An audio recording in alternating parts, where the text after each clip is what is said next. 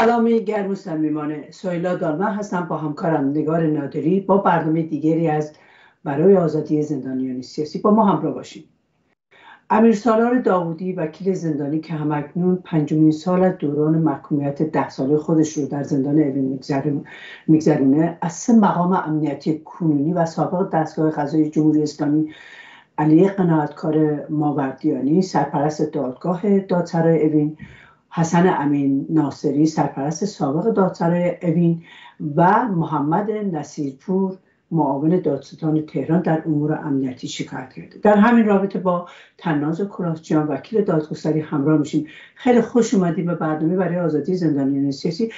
دلیل و جزئیات این شکایت دقیقا چی هستش؟ درود بر شما و مخاطبین برنامهتون. بسیار سپاسگزارم از دعوت.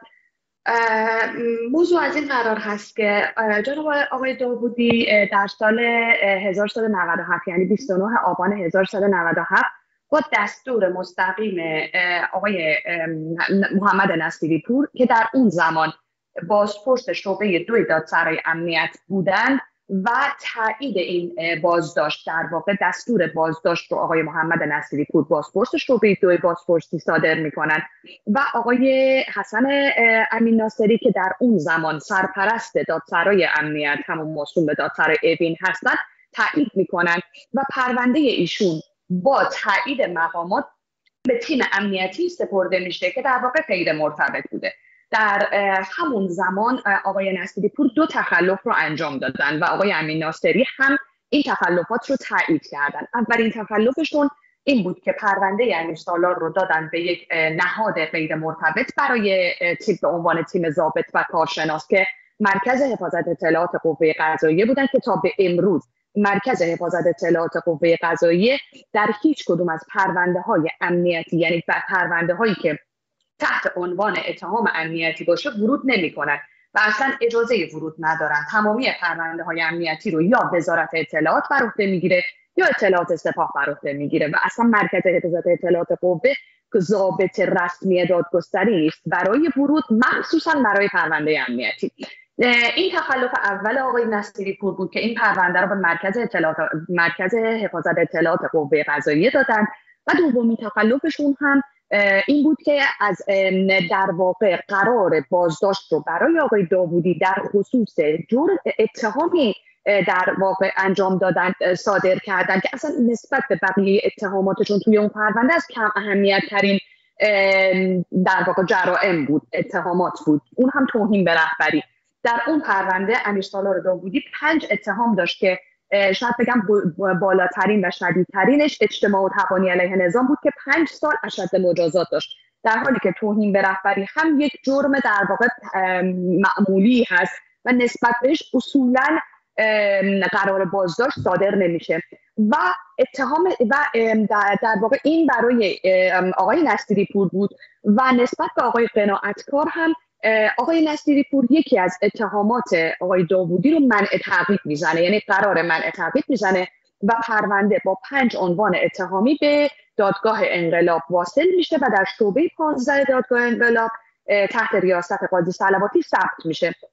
و در واقع یک ماه بعد از ثبت پرونده در شعبه 15 اعلام می‌کنن که پرونده دیگری تحت عنوان تشکیل گروه و قصد براندازی و ارتباط با دول متخاصم در شعبه یک بازپرسی دادسرای اوین تحت ریاست آقای قناعتکار دوباره باز شده و ایشون مجدد مورد بازجویی قرار گرفتن و قاضی سلواتی هم به من یعنی حالا با پیگیری هایی که انجام دادیم اعلام کردن که من تا پرونده دوم نیاد نه رأی صادر می‌کنم نه ورود می‌کنم به پرونده.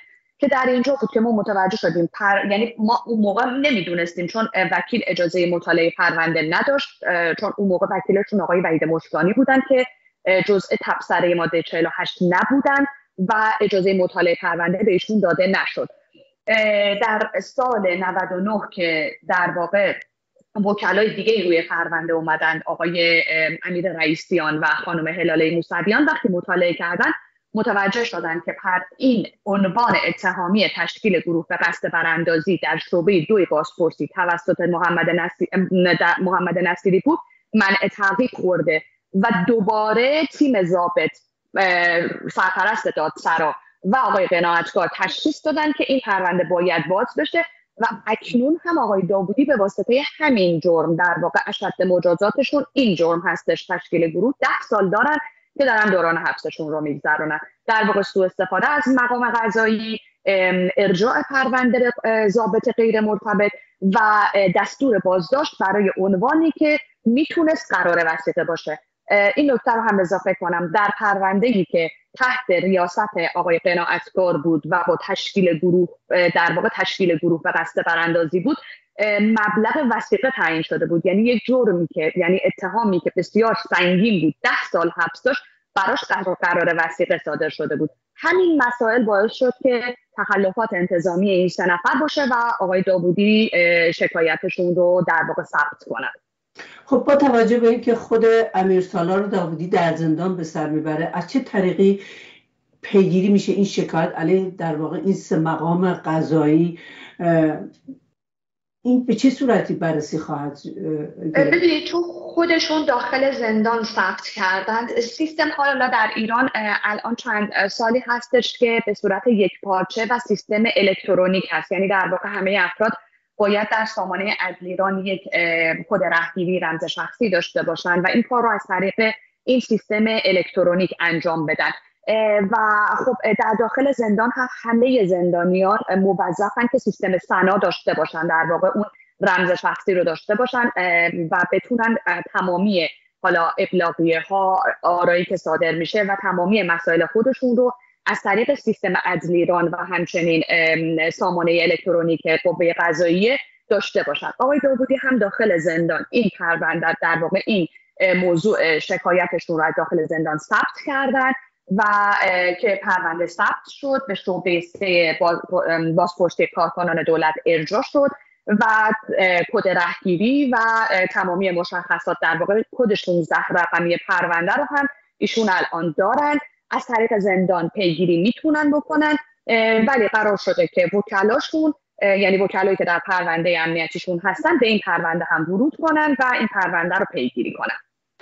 سوال مهمی که به نظر پیش میاد اینی که شما جزیاتی در مورد شکایت و اینکه نحوه اون چجوری پیش خواهد رفت توضیح دادی ولی سوال این هستش با توجه به اینکه این شکایت علیه مقامات قضایی هستش آیا رسیدگی به این پرونده به جایی خواهد رسید یا نه؟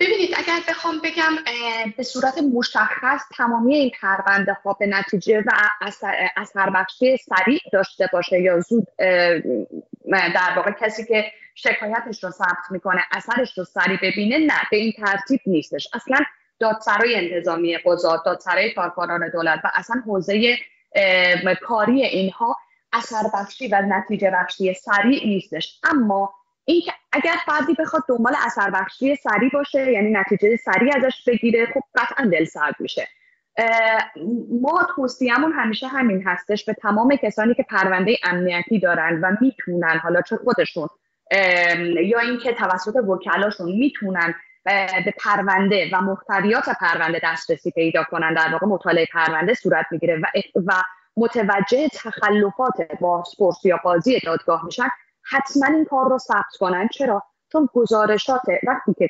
گزارشات افراد در واقع ثبت شکایتشون از قاضی یا بازپرس در دادسرای کارکنان دولت یا دادسرای انتظامی قضات بسیار زیاد باشه قطعا ممکنه که اثرش رو افراد در اون لحظه نبینن. ولی قطعا با اون قاضی متخلف برخورد میشه. به این ترتیب هست که اون قاضی رو اگر شرایط یعنی اون میزان شکایت به حدی با تخلف به حدی باشه که خل اسمت بشن بله حتما مقام از مقام قضایی خل اسمت میشن و اگر تخلف به گونه ای باشه که حتی باید از مقام دولتی هم در واقع انفصال دائم یا موقت داشته باشن این اتفاق میفته و اگر نه به اون حد نباشه خب برای قضات دادسرای امنیت و دادگاه انقلاب خیلی سخته. اون حوزه تحت سیطره خودشون رو از دست بدن. در واقع این شکایات اگر زیاد باشه این قاضی رو از اون شعبه برمیدارن و به یک شعبه دیگه که خیلی مادون و اصلا هیچ ارتباطی با موضوع امنیتی ندارن قرار میدن که برای اون قاضی امنیتی خیلی خفته و یا اینکه تبعیدشون می‌کنن به نقاط بسیار دور افتاده که اونجا حالا یا بازپرسی کنن یا یه شعبه کارمندی. یعنی بسیار کار مادون بهشون میدن که خب برای قضات و بازپرس های دادگاه انقلاب و دادسرای اوین بسیار خفت آوره ما شاهد این بودیم قبلا. مثلا در شعبه یکی از شعب دادگاه انقلاب قاضی بود به نام قاضی پیر عباسی. ممکنه من اسمش رو ببرم خیلی ها بشناسنش که عادت داشت اعدام می‌داد. گزارشات فراوانی که به دادسرای انتظامی قضات رسید ایشون رو برداشتن به خاطر تخلفات بسیار بسیار گسترده که داشت. و بعد ایشون رو منتقل کردن دادگاه خانواده. و هیچ خفتی بالاتر از این نیست که شما دادگاه امنیتی باشی با بادیگارد این ورون ور بری و یه دفعه شما رو از اون حوزه تحت سیطره خارج کنن و مثلا دادگاه خانواده شعبه دادگاه خانواده بهتون بدن که مجبور باشید به دعوی زن و شوهری رسیدگی کنید. برای قضات دادگاه انقلاب خیلی خفت آوره. ولی این گزارشات بی نتیجه نمیمونه. مطمئن باشم که قطعا یک برخوردهایی از بابت دادسرای انتظامی قضات و دادگاه انتظامی قضات انجام میشه. ممنون از حضورتون ممنون از اینکه توضیحاتی در مورد این پرونده و چگونگی روندش برای ما داشتیم در ادامه برنامه ابوذر سرجو رو همراهمون داریم. سلام ابوذر گزارش امروز شما رو بشنویم. سویدان منم سلام می‌کنم به بینندگان برنامه آزادی زندانیان سیاسی. گزارش این هفته در مورد سامان سیدی معروف سامان یاسین است. سامان یاسین خواننده رب ترانه‌سرا و آهنگساز مهر سال گذشته در جریان انقلاب زن زندگی آزادی بازداشت شد. در آبان همان سال فیلمی از اعترافات اجباری او از رسانه های دولتی جمهوری اسلامی پخش شد. سامان را به اتهام محاربه اجتماع تبانی به قصد اقدام علیه امنیت کشور به اعدام محکوم شد. سامان یاسین در روز چهارشنبه اول شهریور فایل صوتی به نام سامان یاسین خواننده رپ از زندان منتشر کرد که در اون فایل صوتی از شکنجه های دوران بازداشت خود می‌گوید. از زمان بازداشت بارها مورد بازجویی شکنجه های شدید جسمی و روحی قرار گرفته است. او, او را در سلول انفرادی و در اتاق موسوم به سردخانه نگه داشتند و به شدت مورد ضرب و قرار گرفته و حفری سمت چپ بینیش را پاره کردند. بازجویان او را با صحنه اعدام ساختگی مواجه کردند تا بر اثر این فشارها مجبور به اعتراف اجباری شود. در تابستان امسال سامان یاسین را با دستور قاضی سلواتی برای دوری از زندان رجای شهر به مرکز روانپزشکی امین آباد منتقل کردند. پس از انتقال به امین آباد توسط چند سرباز زندان و پرسنل زندان به زور بر تخت بسته شدند. دستها و پاها با پابند و دستبند به یه آمپول زدن به بازویم که تا 24 ساعت بیهوش بودم. سعید دهقان وکیل دادگستری عنوان کرد آشویتس جمهوری اسلامی کجاست؟ او گفته بسیاری از بازداشتگان در امین آباد پس از خوردن اجباری قرصای ناشناخته ویرانگر قرار گرفتند و تحت شوکهای برقی با ولتاژ بالا اجبار به استفاده از پاوند و دستبند در محیطی که فرار از آن غیر ممکن است. صلیبی بستن دستهایشان به تخت در طول شب و اوریانسازی گروهی در حمام اجباری همچون آشویز حتی دیگر توان دوباره ایستادن ندارند و نمی‌توانند اون, اون چه بر اونها گذشته را روایت یا اطلاع رسانی کنند. سامان یاسین تا کنون چندین بار در اعتراض به شرط سخت خود در زندان و بلا تکلیفی پروندهش دست به اعتصاب غذا زده و حتی یک بار اقدام به خودکشی کرده. بعد از 17 ماه بلا تکلیفی روز چهارشنبه 18 بهمن به شعبه 15 دادگاه انقلاب فراخوانده شد. هنگام خروج از زندان برای بار چهارم مطلع شد که قاضی سلواتی دادگاه را مجددا کنسل کرده و این موضوع باعث شد سامان یاسین دست به اعتراض بزند. و عصبی شده و پرده ها و پرچم های نصب شده حمل شده تمام اونها را پاره کرده خودش هم از ناحیه سر آسیب شدید دیده و حاضر به درمان به دست پزشکان اطلاعاتی زندان نشده. یکی دیگر از کارنامه درخشان آشویتس جمهوری اسلامی ایران. در اعتراض به اعدام های گسترده پارلمان اروپا در اجلاس روزهای 18 و 19 بهمن ما در بروکسل با تصویب قطعنامه مشترک گروه های مختلف پارلمان اروپا اعدام های افزاینده در ایران رو محکوم کردن به ویژه اعدام محمد قبادلو رو به عنوان یکی از موارد محکومیت نقض حقوق بشر ذکر کردن همچنین از مقامات مسئول نقض جدی حقوق بشر در ایران خواستار تحقیقات جنایی تحت صلاحیت جهانی شدند. از جمله مهمتر از جمله مهمترین محورهای قدنامه اروپا نقض سیستماتیک حقوق بشر در ایران رو محکوم کردن و خواستار تحقیقات جنایی در مورد مقامات مسئول این نقض ها شده.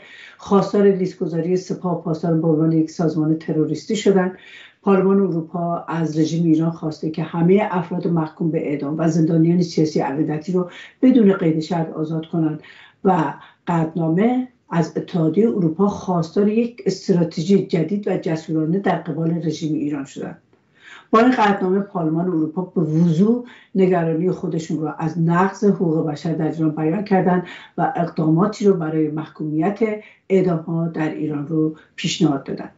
برنامه رو ادامه میدیم بعد از شنیدن یک آهنگ از شروین